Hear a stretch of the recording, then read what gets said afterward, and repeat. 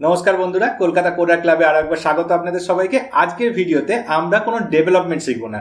আজকের ভিডিওতে আমরা যেটা শিখব সেটা ডেভেলপমেন্টের থেকেও ইম্পর্টেন্ট এটাকে বলে ডিবাগিং ডিবাগিং হচ্ছে ডেভেলপমেন্টেরই একটা পার্ট ডিবাগিং এর মাধ্যমে হয় কি ডিবাগিং অ্যাকচুয়ালি আপনার লাইফ থেকে অনেক টেনশন অনেক স্ট্রেসকে কমিয়ে দেবে। কীভাবে কমিয়ে দেবে?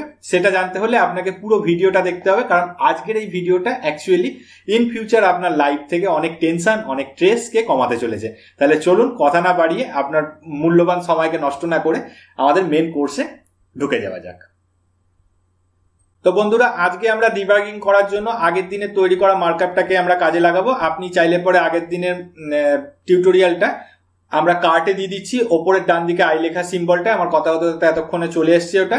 তো সেখান থেকে গিয়ে একবার আপনি দেখে আসতে পারেন। এতে অনেক ইম্পর্টেন্ট তথ্য রয়েছে। আপনি চাইলে একবার আগের ভিডিও থেকে ঘুরে আসতে পারেন। তো চলুন, আজকে আমরা যেটা জানতে চলেছি সেটা হচ্ছে ডিবাগিং তো ডিবাগিং জিনিসটা কি? ডিবাগিং হচ্ছে যখন আপনি নতুন এইচটিএমএল এর জগতে তখন আপনি কাজ করতে গিয়ে ভুল করবেন। এটা খুব স্বাভাবিক ব্যাপার। তো ভুল করার পরে আমরা কি ভুল করেছি সেই জিনিসটাকে আমাদের বোঝার জন্য আমাদের কি হয়? অনেক মাথার গাম পায়ে ফেলতে হয় যে কি ভুল করেছি, কি ভুল করেছি। এবার যখন আমরা নতুন কোনো একটা ফিল্ডে, তখন আমাদের ভুলটাকে চট করে ধরে ফেলারও আমাদের মধ্যে সেই ক্ষমতা থাকে না। তো তার জন্য ডিবাগিংটা আপনাকে জানতে হবে। ডিবাগিং জানলে পরে আপনি আপনার ভুলটাকে চট করে নিজেই অন্যের হেল্প ছাড়া ধরে ফেলতে পারবেন এবং সেটাকে ঠিক করে ফেলতে পারবেন।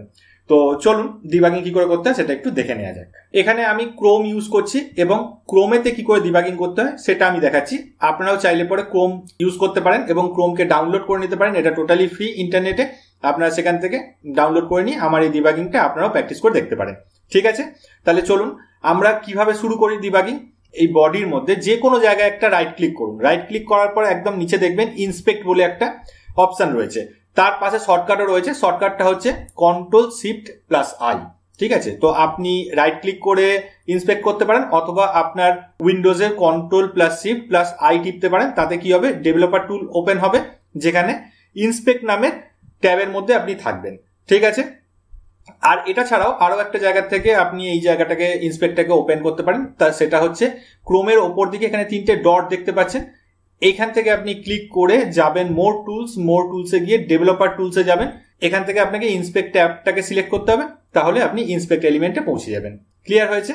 তো এখানে আমরা কীভাবে ইন্সপেক্ট করি, সেটা সবার আগে প্রশ্ন। তার আগে আমি একটু এই জায়গাটাকে জুম করে নিই, যাতে আপনার লেখাগুলো দেখতে আর বোঝাতে সুবিধা হয়। ঠিক আছে? যথেষ্ট বড় হয়ে গেছে, এবার আপনারা হয়তো ক্লিয়ারলি দেখতে পাচ্ছেন ব্যাপারটা।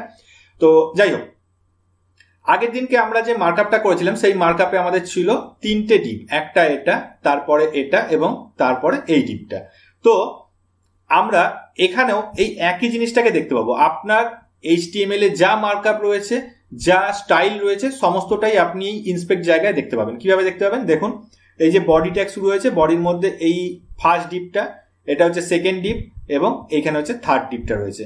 বুঝতে পারছেন? থার্ড ডিপে আমরা আইডি নিয়েছিলাম মাই ফার্স্ট ক্লাস বলে একটা আইডি নেওয়া ছিল এবং অন্য দুটো ডিবেতে মাই ফার্স্ট ক্লাস নামে দুটো ক্লাস নেওয়া ছিল। দেখুন, সেই একই জিনিসটা আমরা এখানে দেখতে পাচ্ছি। ঠিক আছে? তো এইবারে আমরা জানব কি যে এখানে ডিবাগিং কি করে করতে হয়। তো আমি ফার্স্টে ধরে নিন যে প্রথমের ক্লাসটাকে যখন মাউসটাকে নিয়ে যাচ্ছি প্রথমে ডিপটার ওপরে, তখন দেখুন, আমার এই ডিপটা টোটালটা সিলেক্ট হয়ে গেছে। ঠিক আছে? দেখতে পাচ্ছেন ভালো করে যে এই পুরো জায়গাটা কিন্তু ব্লু কালার দিয়ে সিলেক্ট হয়ে গেছে আর চারপাশটা গেরুয়া টাইপের কালার হয়ে গেছে। দেখুন, তাই তো? তো এইভাবে আপনি এইটার উপর যদি ক্লিক করে দেন, তাহলে এটায় দেখুন একটা ব্লু কালারের হাইলাইট হয়ে রয়েছে, যেটা কিনা বোঝাচ্ছে যে এই ডিপটাকে আপনি বর্তমানে সিলেক্ট করে রেখেছেন। যখন আপনি এটাকে সিলেক্ট করে রাখবেন, তখন এর মধ্যে থাকা ক্লাস তার সমস্ত প্রপার্টিটা আপনি এখানে দেখতে পেয়ে যাবেন। দেখুন, এর মধ্যে থাকা ক্লাসটার নাম মাই ফার্স্ট ক্লাস ছিল, সেটা আপনার বাঁ দিকে চলে এসছে। এটাকে চাইলে আপনি একটু আপনার প্রয়োজন মতো বড় ছোট করে নিতে পারেন। হুম? এবং সেই মাই ক্লাসের মধ্যে থাকা প্রত্যেকটা প্রপার্টি এখানে দেখুন দেখিয়ে দিচ্ছে। দেখতে পাচ্ছেন? তো এই হচ্ছে সুবিধা যে এখান থেকে আপনি চট করে জিনিসটা দেখে ফেলতে পারছেন। এবারে যদি মনে করেন আপনার এই ব্যাকগ্রাউন্ড রেডটা আছে, এই রেডটাকে আপনি এখান থেকে যে পাশের টিকটা আছে, এটাকে যদি আপনি উঠিয়ে দেন, তাহলে সঙ্গে সঙ্গে কিন্তু এই ব্যাকগ্রাউন্ড রেডটা ডিজাবেল হয়ে যাবে। আপনার ব্যাকগ্রাউন্ডে আর রেড কালারটা নেই ডিভের। দেখতে পাচ্ছেন? আবার আপনি এটাকে আনতে হলে পরে জাস্ট এখানে ক্লিকটাকে আবার চেক করে দিন, তাহলেই দেখবেন যে আবার ব্যাকগ্রাউন্ডটা এনেবেল হয়ে গেছে। তো এইভাবে আমরা ইনস্ট্যান্ট দেখতে পারি যে কোনো চেঞ্জেস করলে পরে কি রকম হতে পারে। আপনার মনে করুন যে বর্ডারটা রয়েছে ব্লু কালারের সেটা আপনার পছন্দ হচ্ছে না, আপনি এখান থেকে টিকটাকে উঠিয়ে দিন বর্ডার কালারটা চলে যাবে। নর্মাল ডিফল্ট কালার হচ্ছে ব্ল্যাক বর্ডারের সেটা চলে এসছে। আপনি চাইলে পরে ব্লু জায়গায় আপনি এখানে যেটা ইচ্ছে আপনি দিয়ে দিতে পারেন। আপনি মনে করুন দিয়ে দিলেন green G R double N green যেই লিখে দেবেন, অমনি সঙ্গে সঙ্গে এটা গ্রিন কালারের হয়ে যাবে। তো সঙ্গে সঙ্গে আপনি ইনস্ট্যান্ট চেঞ্জ করতে পারছেন ইনস্ট্যান্ট সেই চেঞ্জটা দেখতেও পাচ্ছেন। হুম, এটাই আপনাকে যদি এডিটারে গিয়ে করতে হতো, তাহলে আপনাকে এডিটারে আসতে হতো এইখানে বর্ডার কালার ব্লু এটাকে আপনাকে G R double N green লিখে সেভ করতে হতো। তারপরে আপনি এখানে এসে রিফ্রেশ করতেন, তখন দেখতে পেতেন গ্রিন কিন্তু আমরা এখান থেকে কি করতে পারছি? ইনস্ট্যান্ট টুক করে চেঞ্জ করে দিতে পারছি। এইভাবে আপনি এখানে চাইলে পরে কোনো জিনিসটাকে মডিফাই করতে পারেন। উইথটা পাঁচশো আছে, আপনি এটাকে চাইলে পরে ছশো করে দিতে পারেন, সাতশো করে দিতে পারেন, যেটা আপনার ইচ্ছা সেরকম করে দিতে পারেন। আবার সেই, করে দেওয়ার সঙ্গে সঙ্গে আপনি এখানে দেখতেও পেয়ে যাচ্ছেন। সেরকম আপনি কোনো একটা জিনিসকে ডিজেবল করতে চাইছেন যে আমার বর্ডার কালারটা চাই না, তো আপনি অফ করে দিলেন অফ করে দেওয়ার সঙ্গে সঙ্গে কালারটা চলে যাবে। এবং যদি আপনি কিছু অ্যাড করতে চান, যে আপনার যা সিএসএস রয়েছে, তার সঙ্গে আপনি আরেকটা কিছু অ্যাড করতে চাইছেন, মনে করুন, আমি এই যে লেখার কালারটা আছে, এটা ব্ল্যাক থেকে আমি হোয়াইট করতে চাইছি, তাহলে আমাকে কি লিখতে হবে? সিও এলও আর কালার লিখে আমি লিখে দিচ্ছি W H I T E white লিখে দিলাম, ব্যাস, সঙ্গে সঙ্গে এটা হোয়াইট হয়ে গেল, এবং আমি সেটা সঙ্গে সঙ্গে দেখতেও পাচ্ছি। ক্লিয়ার হয়েছে। তো এইভাবে আপনি ইনস্ট্যান্ট এটাকে চেঞ্জ করে নিতে পারেন। এবং এটা আপনার অনেক সময় বাঁচাবে। এবং ইন ফিউচার কি হবে? মনে করুন ক্লায়েন্ট আপনাকে কোনো একটা চেঞ্জ বলছে যে আমার, মনে করুন এইটাই। এইটা দিয়ে উদাহরণ দেওয়া যাক। মনে করুন ক্লায়েন্ট আপনাকে বলছে যে আমার যে টেক্সের কালারটা আছে, এটা ব্ল্যাক আমার ভালো লাগছে না, এটা হোয়াইট হলে কেমন লাগে? তো আপনি সঙ্গে সঙ্গে এখানে প্রপার্টিটা অ্যাড করলেন। কালারটাকে হোয়াইট করে দিলেন, করে দিয়ে এটার একটা স্ক্রিনশট তুলে আপনি কি করলেন? ক্লায়েন্টের কাছে পাঠিয়ে দিলেন। তো ক্লায়েন্টের কাছে পাঠিয়ে দিলেন, সে ওটাকে অ্যাপ্রুভ করল বা ডিসঅ্যাপ্রুভ করল, যেটাই করল, আপনাকে কিন্তু আর গিয়ে আপনার মেন যে ফাইল সেখানে চেঞ্জ করতে হলো না সার্ভারে কোনো চেঞ্জ করতে হলো না, আপনি ইনস্ট্যান্ট একটা ব্রাউজেই চেঞ্জ করে ওটার একটা স্ক্রিনশট তুলে দিয়ে দিলেন, যাতে সে লুক অ্যান্ড ফিলটা বুঝতে পারে যে অ্যাকচুয়ালি কীরকম দেখাবে। এবার যদি তার ভালো লাগে তাহলে সে অ্যাপ্রুভ করল, তখন গিয়ে আপনি আপনার অরিজিনাল ফাইলটাকে চেঞ্জ করলেন সার্ভারে চেঞ্জ করলেন, যেখানে যেখানে চেঞ্জ করেন আপনি করলেন। আর যদি ডিসঅ্যাপ্রুভ হয়, তাহলে পরে তো হয়ে গেল। তাহলে আপনার কি হলো? আলটিমেট খাটনিটা বাঁচলো। আপনার গিয়ে অরিজিনালি করে কিছু আসতে হলো না। আপনি জাস্ট এখান থেকে ইনস্ট্যান্ট চেঞ্জ করলেন আর সেই আউটপুটটা আপনি ক্লায়েন্টের কাছে অ্যাজ এ ফটো পাঠিয়ে দিতে পারলেন। তো বোঝা গেল। তো এইভাবে আমরা এটাকে ইন্সপেক্টরকে কাজে লাগাতে পারি। তো এটা তো গেল ইন্সপেক্টের একরকম কাজ। আর একরকম ব্যাপার হচ্ছে যে দেখুন আমরা ফার্স্ট এটাকে অফ করে দিই।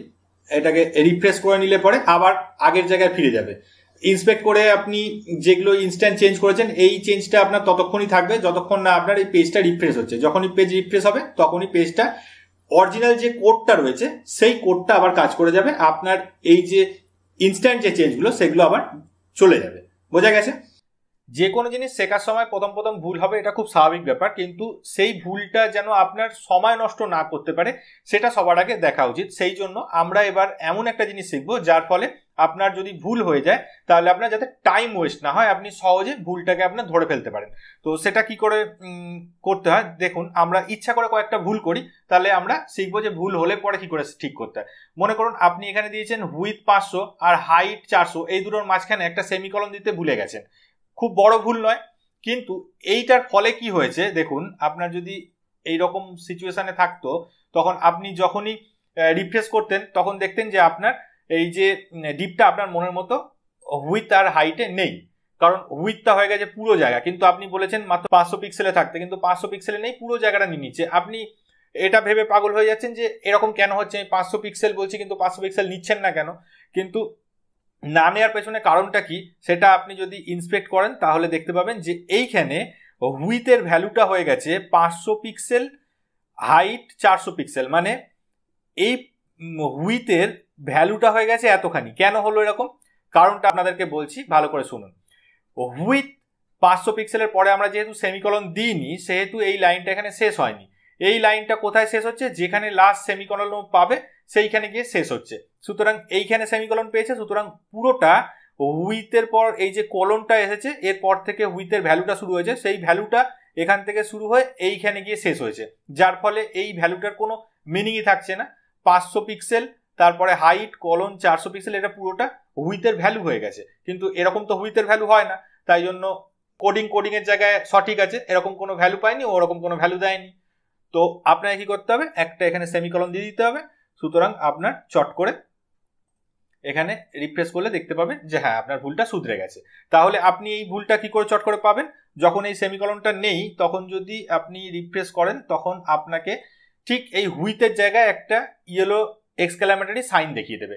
এই সাইনটা মানে হচ্ছে কোনো একটা ভুল আপনার এই জায়গাতে এই লাইনে রয়েছে। সুতরাং আপনি আর সমস্ত লাইনগুলোকে সেই মুহূর্তের জন্য ইগনোর করতে পারেন, কারণ এখানে আপনার এক্সক্যালামেটারি সাইন আছে। আপনি এখানটায় যখন ফলো করলেন, তখন দেখলেন যে হ্যাঁ এখানে আপনার ভ্যালুটা ভুল হয়ে গেছে। কেন ভুল হয়েছে? না, আপনি এখানে একটা সেমিকলন দিতে ভুল করেছেন। তো সেমিকলনটা তখন দিয়ে আসবেন, সঙ্গে সঙ্গে আপনার কোড কোডের মতো কাজ করতে আরম্ভ করবে। তো এইভাবে আপনি সহজে আপনার ভুলটাকে ধরে ফেলতে পারেন এবং সেই ভুলটাকে আপনি শুধরে ফেলতে পারেন। তো এইভাবে আমরা কোডিংয়ে আমাদের টাইমটাকে ইনভেস্ট করি। আমরা এই সমস্ত হাবিজাবি এরর ফাইন্ড করতে গিয়ে বা অন্য কোনো জায়গাতে আমরা আমাদের টাইমটাকে নষ্ট করতে একদমই রাজি না। কারণ টাইমটা যত আপনি আপনার কোডে দেবেন, তত আপনি ক্রিয়েটিভ হবেন। আর যত এই সমস্ত এরর খুঁজতে গিয়ে, হাবিজাবি করতে গিয়ে আপনার সময় চলে যাবে, তত আপনার ক্রিয়েটিভিটি লেভেলটা একটু কমে যাবে। কারণ আপনি ক্রিয়েটিভিটিতে টাইম দিতে পারেননি। এগুলো খুঁজতে আপনার সময় চলে গেছে। তাই ডিবাগিং খুব ইম্পর্টেন্ট ডিবাগিং আপনি যত ভালো হবেন, তত আপনি লাইফে বেশি সাকসেস হবেন। আপনার লাইফ থেকে তত ট্রেস কমে যাবে। আপনাকে এই কি ভুল হয়েছে, কি ভুল হয়েছে, এই নিয়ে আপনাকে কখনো মাথা মারামারি করতে হবে না। এবং আপনি সহজে আপনার ভুল ধরে নিয়ে, আপনি শুধরে নিয়ে আপনার মনের মতো আউটপুট চট করে পেয়ে যাবেন। তো বোঝা গেছে ডিবাগিং হচ্ছে ডেভেলপমেন্টেরই একটা পার্ট এবং খুব ইম্পর্টেন্ট একটা পার্ট আশা করি আজকের ভিডিওটার পরে আপনার কোডিং করতে যথেষ্ট ইজি লাগবে, কারণ আপনি ডিবাগিং করতে শিখে গেছেন, আপনি চট করে আপনার ভুলটাকে খুঁজে পেয়ে যাবেন। তো ঠিক আছে বন্ধুরা, আজকের ভিডিওটা এত অবধি আমি রাখলাম। আশা করছি আপনার ভিডিওটা সম্পূর্ণ বুঝতে পেরেছেন। এরপরেও যদি কোনো জায়গায় আপনার কোনো কোশ্চেন থাকে এবং আপনি যদি নতুন কিছু জানতে চান ডিবাগিং সম্পর্কে, আপনি কমেন্ট সেকশনে অবশ্যই আমাকে লিখে জানান। আমি অবশ্যই আপনাকে আপনার মতো সাহায্য করার চেষ্টা করব। ঠিক আছে? ভিডিওটা যদি ভালো লাগে, তাহলে লাইক দিয়ে আমাকে মোটিভেট করতে ভুলবেন না।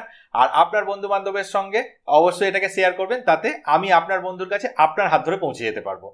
আর যদি আপনি এখনও অবধি আমাদের চ্যানেলের সঙ্গে সাবস্ক্রাইব করে না জুড়ে গিয়ে থাকেন, তাহলে আপনাকে বলব, অবশ্যই আমাদের সাবস্ক্রাইব বাটনটাকে ক্লিক করে পাশের বেল আইকনটাকে ক্লিক করে দেবেন, যাতে ইন ফিউচার আমার তোলা প্রত্যেকটা ভিডিও তৎক্ষণাৎ আপনার কাছে নোটিফিকেশন চলে যায় এবং আপনি সবার আগে সেটা দেখে নিজের জ্ঞানকে আরও বাড়িয়ে নিতে পারেন। তো ঠিক আছে বন্ধুরা, পরবর্তী দিনে আমি আরও নতুন ভিডিও নিয়ে আসছি আপনাদের সামনে। আরও সুন্দর কিছু আপনাদের সামনে উপস্থাপনা করাই আমার উদ্দেশ্য থাকবে। দেখা হবে পরের ভিডিওতে খুব ভালো থাকবেন ততদিন। টাটা।